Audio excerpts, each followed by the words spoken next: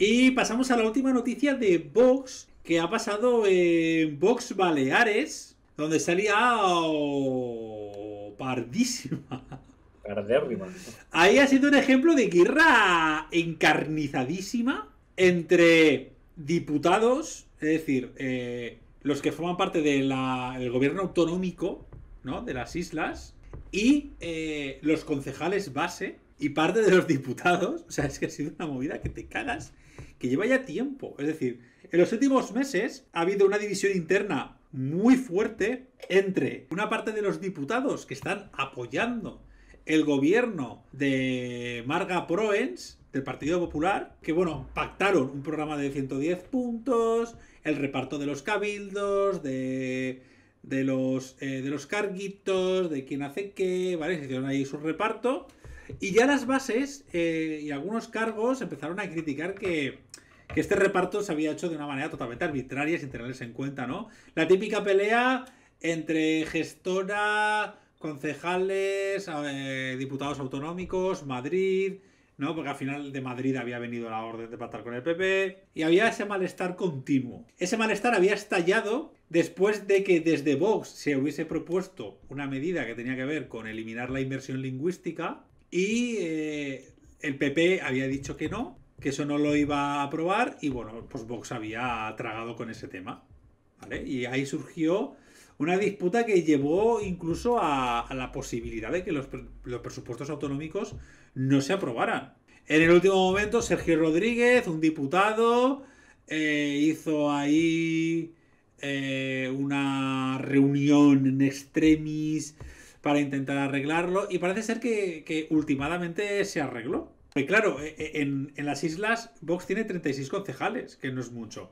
Y la mayoría se estaban posicionando en contra de la propia cúpula, tanto, tanto de Madrid como de la muy buena parte de la cúpula, de, las cúpulas provinciales y del gobierno autonómico. O sea, podía haber una rebelión en toda regla como la que había pasado en Murcia, donde se disolvió el, grupo parlamentario directamente. Y aquello se había, se había quedado un poco así.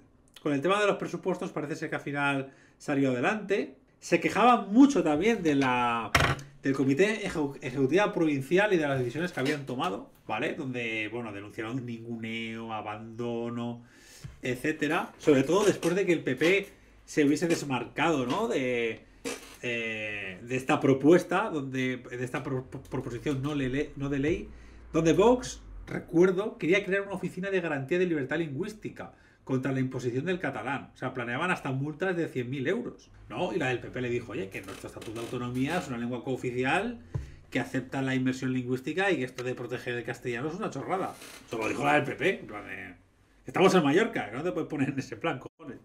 Entonces, ¿qué pasó ahí? Pues que los rebeldes, incluyendo el Sergio Rodríguez este, bueno, para empezar, uno dijo, un diputado dijo, mira, que yo me piro, que este partido es una puta mierda, este está a los huevos, fue el Francisco José Contreras, creo que fue. A ver que mire aquí el nombre, que no lo quiero decir mal. Ah, ah, ah. Sí, creo que fue... ¿Qué fue este? Ah, no, perdón. Francisco José Cardona, discúlpame, había dicho mal el nombre. Eh, todo esto estalló en septiembre y al mes, al mes siguiente dijo, mira, yo dejo el acta, no, perdón, yo dejo Vox, me voy a los no adscritos y que os den por el culo, yo no quiero saber nada de vosotros. Y eh, cinco de ellos han cogido y han aprobado la destitución, por un lado, de Patricia de las Heras, que es, digamos, la líder autonómica, y el Gabriel de Le- Le- Lese- no sé si se pronuncia bien, Gabriel Lesene, o Gabriel Lesene, como se pronuncie, que es el presidente del Parlamento Balear. Han dicho estos, fuera, ¿vale? Fuera de sus cargos, fuera de fuera de esto que están haciendo y vamos a votar a favor de mandarlos a tomar por el saco.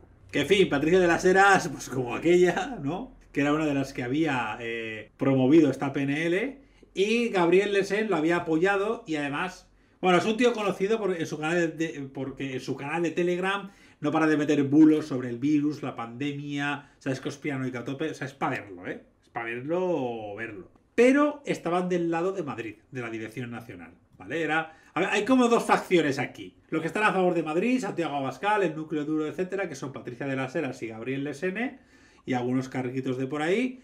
Y luego los otros cinco diputados que están en contra de esta gente y a favor de, bueno, autogestionarse un poco ellos y hacer las cosas un poco a su manera.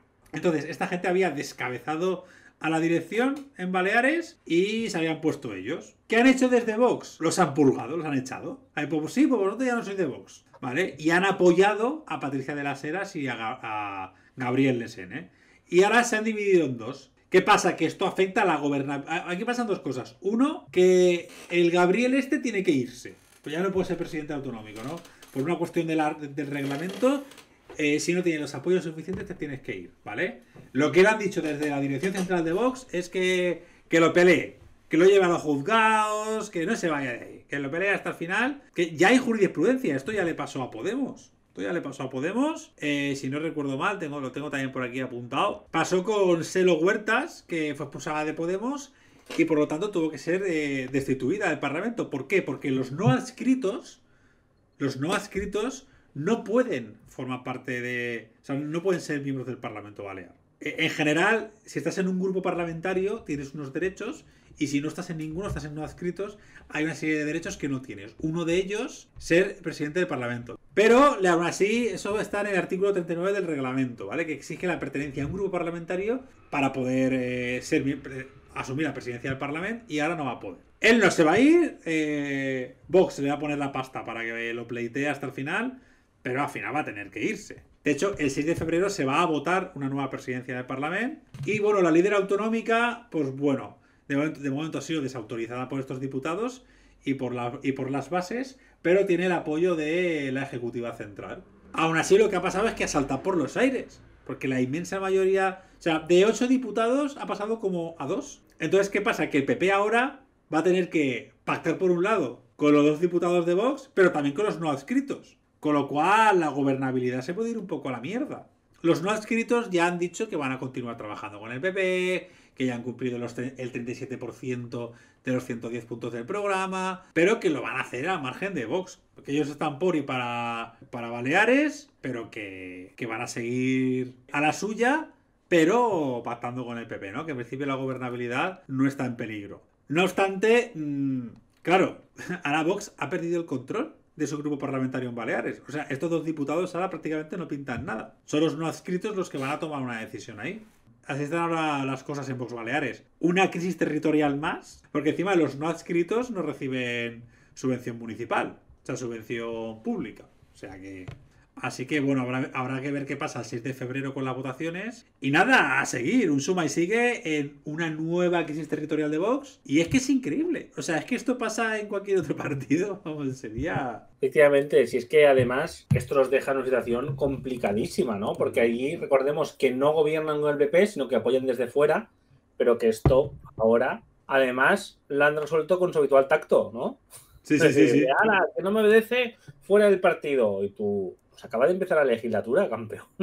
Ahora veremos qué pasa. Y encima me hace gracia los dos perfiles estos, tanto Patricia de las Heras como Gabriel Lesene, que el, Patricia de las Heras estuvo en el PP y estudió, llegó a trabajar en banca y tal. El Lesene lo mismo, que trabajó en Farmamar, que hizo analista de mercados y abogado, y aparte que es un pieza de cuidado el SN, porque eh, eres de la área más libertariana, ¿no? Estado mínimo y tal, pero es que eso no le, no le quita de ser un magufo de cuidado y haber dicho barbaridades muy fuertes, ¿no? Además tuvo el Partido Libertario antes, para que seamos un poco estos perfiles, ¿no? Que, mm. no la, la, economía y tal, y luego creen un montón de chorradas, mm. ¿vale? De teorías conspirativas y no sé qué.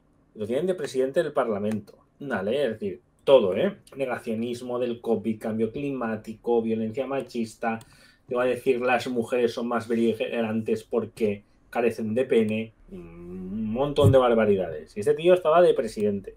Así que mm. mira, me alegro, a ver si echándole no puede seguir porque es que vaya tío. Y estas, además que han todo un montón de perfiles negacionistas, negacionistas del cambio climático, de cosas súper básicas, que se creen todos los bulos y que están ahora como que de presidente del Parlamento, de encargos súper grandes y dices, pero esto esta locura que esté esta gente aquí. Es increíble, o sea, es una cosa. Es que es brutal, o sea, a mí me parece brutal.